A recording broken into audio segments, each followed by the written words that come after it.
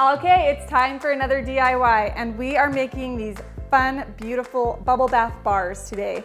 This is something that I was inspired to do after visiting the Lush store because I was just like, $10 for this thing, holy cow. But then when I went home and used it, I was obsessed, but I was like, I can't be spending $10 on a bubble bath every time.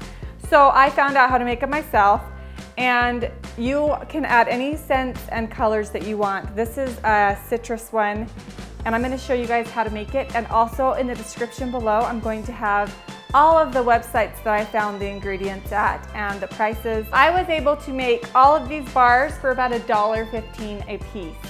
So if you guys want to learn how to do this, of course you're going to have a ton of bars, but I'm going to be giving them away as gifts for Christmas. So it made sense for me to buy large quantities of the supplies and just make a bunch of them for my friends. So let's get started. So I wear glasses just to remind me not to touch my eyes when I'm doing this.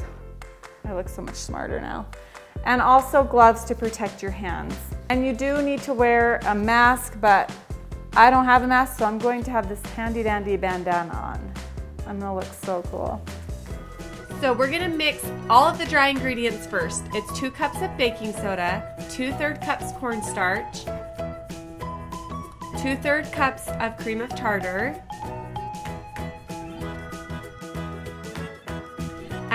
2 cups SLSA.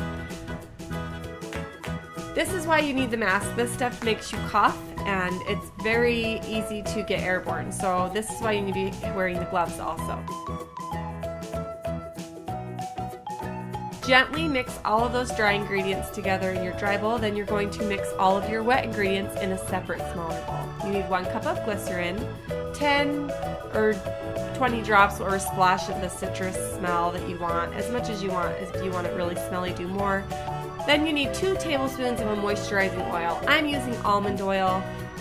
And you're going to then mix all of the wet ingredients with the dry ingredients. And I'm just using my hands since I have the gloves on. It's easier that way. And it's kind of fun. It's like Play-Doh, it just starts to squish together. And then it starts to hold its form and become more of like a dough. That's what you want. As soon as you can squish it in your hand and it holds its form, then you know that you have the right consistency. If it is a little bit dry, you can add a little bit more glycerin. Do not add water. Next, you're gonna add the food coloring. You're gonna wanna do 10 to 20 drops or as much as you want. If you want more coloring, that's fine too, just depending on if you want your bubbles to actually be colored or not. Um, I mixed mine into three different bowls so that I could do a red, a yellow, and an orange for the citrus splash. And so I took all three bowls, made sure that they were the right colors I wanted. Then I just laid them out on parchment paper one at a time and rolled them out with another piece of parchment paper on top until it was about a fourth of an inch thick and a kind of a rectangle square or a square shape. Mine's more of like a rectangle. Then I laid the next color on top of that and kind of just squished it with my hands and then rolled it over the top with another piece of parchment paper and then did the same with the yellow. And this will kind of compact them all together and make them a little bit thinner, which is fine. It's fine to get it nice and thin because the next step is to roll them all together kind of like a sushi roll.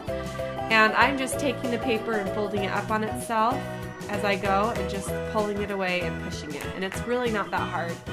As soon as you get it molded together in the loaf shape, next you're going to take some dental floss and just cut the bubble bars and lay them out to dry. They need to dry for at least a day. Mine took like three days before they weren't soft anymore. But you can make them as thin or as thick as you want.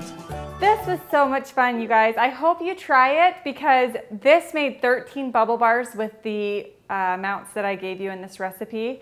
And that would be the equivalent to paying $130 at Lush because each bubble bar is $10 at Lush.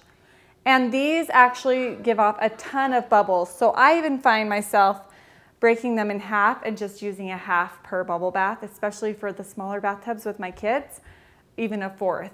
But in my large bathtub, a half works fine, but you could definitely use the full if you like lots and lots of big, fluffy bubbles.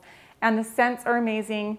Of course, you could do any scent or color you want, but this is so much fun. I hope you guys enjoyed this video and please subscribe and comment below and let me know if it worked for you or what scents you tried because I'd love to hear from you guys where you got your scents and what kinds you like. They smell so good. I hope you guys try it. We'll see you next time. Bye.